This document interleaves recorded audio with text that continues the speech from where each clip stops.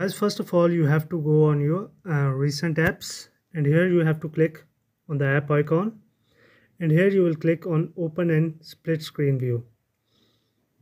After clicking on that here you can select the second app. For example I select Play Store and after selecting it you can also increase the size or decrease the size of any app.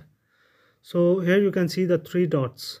We'll click on the three dots and here you can see you can just switch the apps upside down. Or there is a second option of favorites. Okay we'll click on it. So here you can see you can add the pair on the home screen. For example I click on home screen. And you will see the uh, pair has appeared. I can take it anywhere I want.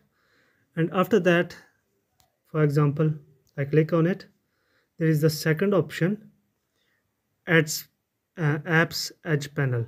So if I click on it it will come on the edge panel.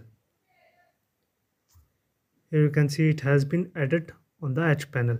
So i hope you like the video. Thanks for watching